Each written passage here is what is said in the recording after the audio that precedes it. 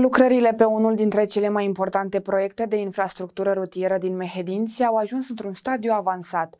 Pe DG 607A a fost turnat primul strat de asfalt pe porțiunea cuprinsă între intersecția cu drumul care duce la Marmanu și intersecția cu DN6 la Prunișor.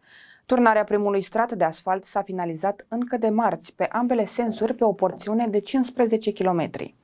Proiectul este finanțat cu fonduri europene. Lungimea totală a drumului este de 28 km, iar pe porțiunea cuprinsă între centura Severin, Cerneții, Valea Copcii de Dovița se lucrează la consolidării, la montarea podețelor tubulare, zidurilor de sprijin și terasamentele, urmând să se asfalteze în cursul acestei veri. Asfaltarea acestui drum rezolvă o problemă a locuitorilor din zonă care au avut condiții dificile de trafic până la drobeta Turnu Severin, mai ales după anul 2000 2016 când aici s-a produs o alunecare de teren cu efecte grave asupra structurii rutiere, a declarat președintele Consiliului Județean Mehedinți Aladin Georgescu.